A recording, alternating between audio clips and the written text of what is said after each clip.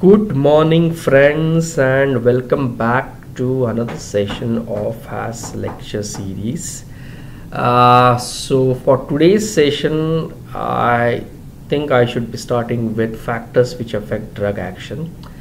Uh, but I was going through the topic, and what I thought is, is it's a very big topic to cover cover it up in one go. So I thought I should be making uh, a few sessions so that it becomes more meaningful uh, when I'm delivering it and it becomes more useful to you when you are listening. Okay so this is the first of the session. It will be followed by a few more and I will upload it in sequence. Okay so broadly speaking now about factors which affect the drug response. So you all know that you know when you prescribe drugs to individuals you are not quite sure about the response the percentage of response right? So for example there is a patient who is been given uh, 500 milligrams at normal adult patient 500 milligrams of paracetamol tablet orally for fever and fever comes down okay? This is one scenario. You give the same tablet to some other individual adult normal individual and he doesn't show any kind of a response. So there is always going to be uh, the, the, variations in response which is seen in between the two individuals right? So that is that is quite common okay? Drugs which suit me may not suit you. The same drug may not suit you at the same time for the same reason right? So this is what is medicine right? The next scenario is that you give 500 milligrams of paracetamol to individual and for his fever and the fever comes down now right? This is one kind of response. You move ahead six months for some other fever you give paracetamol 500 milligrams and the fever doesn't come down. So even within the individual at different times uh, the response achieved might be variable. There would be variations in the response achieved right so there's a lot of variations which you see and that's what i say. Uh, medicine is not like mathematics. Here we predict the kind of a response but we are not uh, sure whether the response will come or not. So 2 plus 2 is not 4 in medicine right? But it is 4 in mathematics even on earth. Even you uh, travel to the edge of the universe 2 plus 2 equals to 4 except that you are in some other dimension that is another story not going into physics. But yes medicine 2 plus 2 never equals to 4 right? So that's the thing. So drug response is variable and that's what is important thing. Now there are various reasons why uh, why this variation should come about. And those variations uh, what are the factors which uh, bring about this variation that we are going to see in this lecture? So the first factor which comes to my mind is about what what should i so many factors. The, the best is about the age uh, of an individual right? So age is an important factor. You have extremes of ages okay so you have very small uh, you have small kids on one side and you are the very old on the other side now let's talk about uh, the very small under 5 age group and so on. Now once a person is born, it's not that on a day one all the organs are functioning optimally. No, they are functioning. There is no physiological or pathological problem. But then it's like an induction motor. Like it will take some time for all the organs to work to their maximum capacity. Okay so happens even with the liver so happens even with the kidneys? Uh, gi motility absorption distribution so on. Don't expect uh, small uh, children on a day one to have you know the same amount of plasma proteins as what a normal child will have after one month. No don't expect that because things will grow. Don't expect uh, premature babies to have the same functioning no because the physiological condition is different. All the organs are evolving. So a normal dose given to a normal drug normal practice drug given at normal doses to these individuals and it can cause a lot of toxic effects onto these children okay so that that's the issue that's the issue that we are going to uh, see in our practice. So we need to be sure on what type of drugs so i always say pediatrics is a special case is a speciality uh, as far as even drugs are concerned because you cannot use whatever drugs you want in children okay? Because simply you use those drugs and it can just cause a lot of uh, side effects. The drugs may not act also sometimes in those children and so on. So that, that's one issue. A lot of specific side effects are also seen in children which you do not want to see. Okay for example use tetracyclines and they can cause bone and teeth deformities so don't use them fluoroquinolones like ciprofloxacin and so on. I'm just naming the drugs okay? So we do not use it because they can cause a lot of cartilage damage okay? Ethambutol is an anti-tuberculous drug which can cause optic neuritis uh, so that that's a issue. Child may not be able to reveal what's happening with his vision so we try to avoid it be below the age of 6 years right? So these factors become limiting. Uh, steroids or steroids also they can cause a lot of uh, growth retardation in children okay so uh, try to avoid these drugs hormones okay? Because uh, you know the growing body if you try to disturb it by giving hormones then it can uh, prove to be dangerous right? If at all you want to use these drugs you need to counsel individuals on the side effect. You want to search for alternatives. You want to start with the lowest dose possible. Keep on monitoring the patients for any side effects.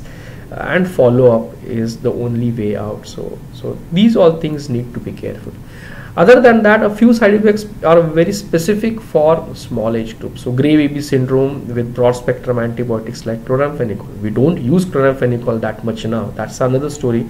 But that can cause a lot of problems with children. So specific side effects related to children. So that's also becomes a issue.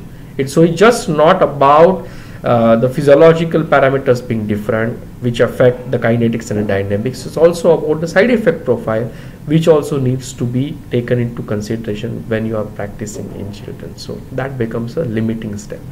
Now if that was for the uh, under 5 age group uh, okay there's one more thing that comes to my mind before i stop uh, on pediatrics. Uh, you know after a few after a few months uh, the metabolism of uh, children they that increases okay? So the metabolism in fact the basal metabolic rate will be quite high.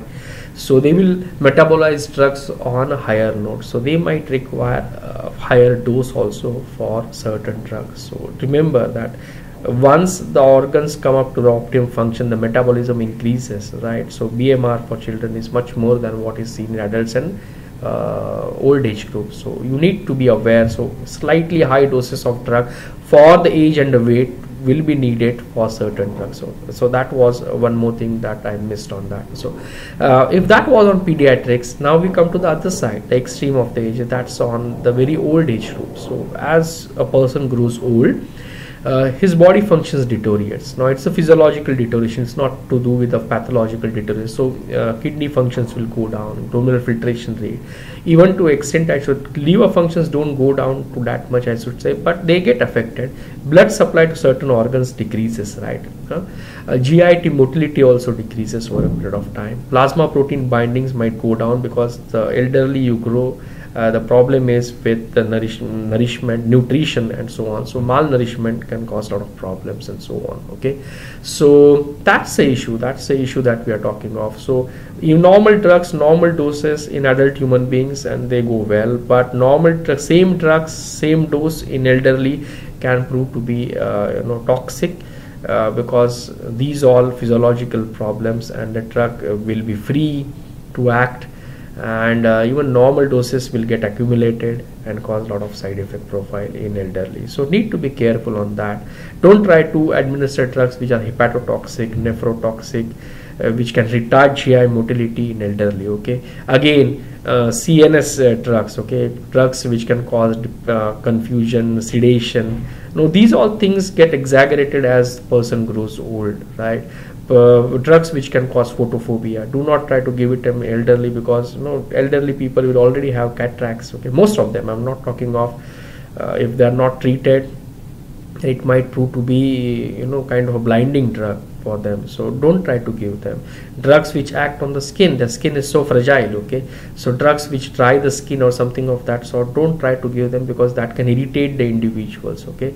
Uh, anticholinergic drugs as elderly you get especially with men so um, drugs which have anticholinergic component and it can bring about problems with voiding. So because as you grow old your prostate is going to have benign prostatic hypertrophy most of the males i should say not all.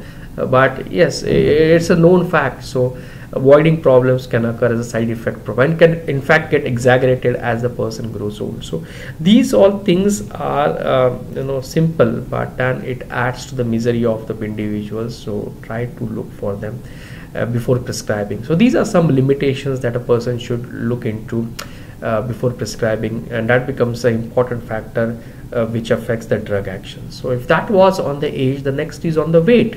Okay so we all know weight of an individual is the identity right? Uh, i am overweight that's another story but anyway so that, that's the identity of an individual right? how you perceive individual in society. So uh, it has to do something with the dose of a drug also right?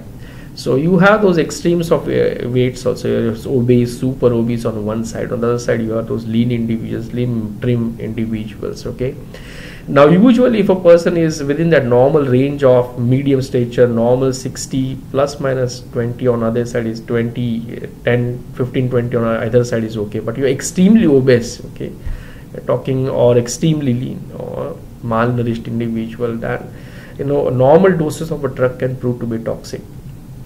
Again there are a lot of formulas which are there by which you can calculate uh, the dose of a drug as per the weight uh, but uh, practically speaking in my practice i hardly use them. But yes on experimental side if i'm doing some clinical trials yes. But then that's another scenario uh, how you come up to the dose of a drug and so on. Ideally i just look into the dose uh, drug information book. Let's try to search for uh, you know per kg body weight of a person uh, per kg dose of a drug sorry and just try to multiply it with the weight of a person and it gets to the formula. So that is what gets the final dose. That's the commonest thing that uh, usually most of the doctors will be doing it across.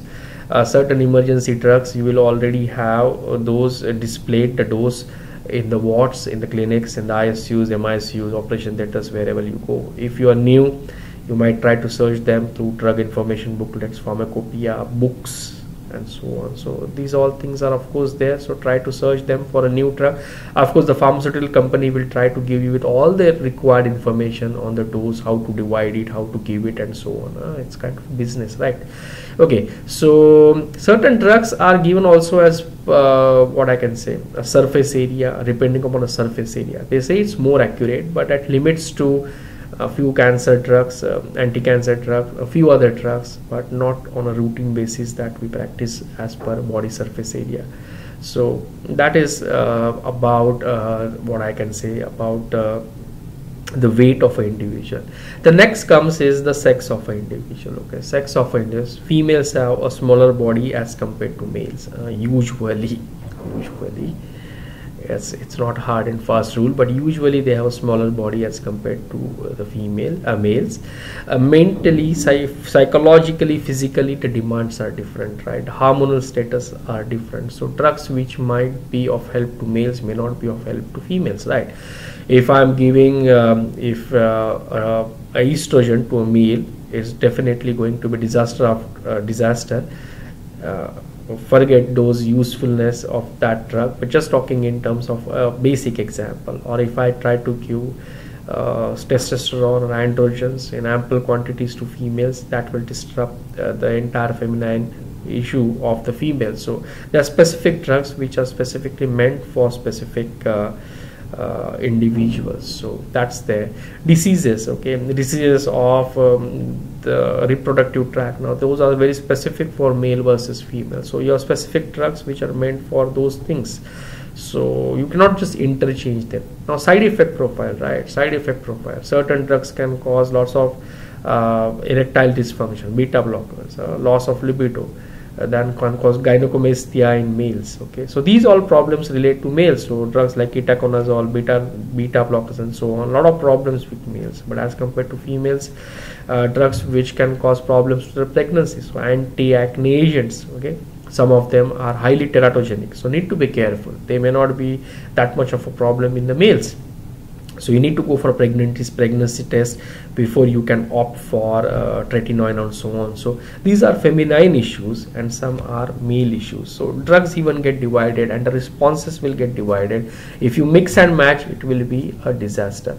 Now pregnancy even is a big issue as far as females are concerned because a lot of physiological changes go on in the body which can entirely disrupt the kinetics and the dynamics of a drug.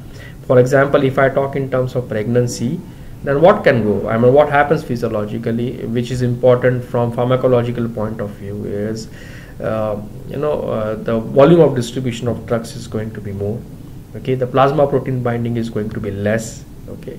Simply because it's diluted. Uh, the, the, the, so so free more free drug will be available of course uh, which can cause a lot of problems because that can activate i should say uh, and the free drug is available for action right? The GIT motility is going to go down so absorption of a drug is going to get delayed. Um, there's going to be induction of hepatic enzymes so even that is a problem right in pregnancy. So even these issues can completely uh, dearrange the way in which normal drugs can act in pregnancy. So again as i say pregnancy I take it as a part of a sex, but again becomes an important issue while prescribing. Anyway, we will do uh, a session on pregnancy and drugs. That's the time I'll talk more on this. But anyway, you to be careful. Uh, look at the sex profile. It's not there just for fun. I'm not talking of sex as fun. No, don't take it as that way. No, it's a fun. It's another story. But I'm not mixing that now. I'm just talking of. You mentioned the sex as male and female in prescribing it's it's to deal with the trucks. If you see uh, a truck and then look at the sex then it becomes more of uh, meaning to you. And then look at all the side effect profile kinetic and dynamic changes. Definitely if a female is receiving some kind of a male hormone i might look into the chart sheet for what she is receiving how she is receiving and so on. So it becomes more of a alarming signal okay? On the other hand a male is receiving a female hormone. Definitely there is a issue right. So these all things do become important as far as drug responses are concerned and this becomes an important factor to us when we are prescribing drugs and that can cause a variation in the drug response. The next in the line is about uh, the race of an individual right? So race is also an important thing. And now this may not be for individuals who practice in areas where they get people from the same community same population same gene pool. But uh, doctors who are flying doctors or doctors who uh, practice across uh, what I said uh, across uh, the boundaries or who get patients from uh, across the globe now for them it becomes issue because some drugs might be highly effective in certain uh, races whereas some drugs may not be highly effective in certain other things. But that all boils down to what kind of genetic pool the person has and that has nothing to do with the outer covering that's the skin right hmm. Okay. So so these all things do matter. Even side effect profile of drugs okay. So certain side effects of a drug might be pronounced in certain races right okay. It may not be the same in other things another uh, few other races.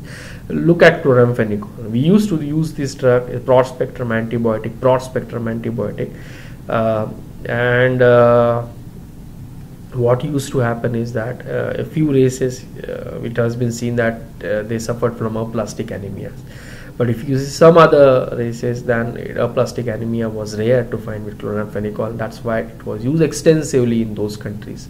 Now that's the best example, right, of variation in drug response as far as uh, race is concerned. So that was my quick analysis for the day. I hope you like this session. There are going to be a few more sessions which I will uh, be uh, shooting up, uh, where I'll be talking of uh, uh, factors which affect drug response. Do subscribe to my channel. Keep watching. Thank you. Have a nice day. Bye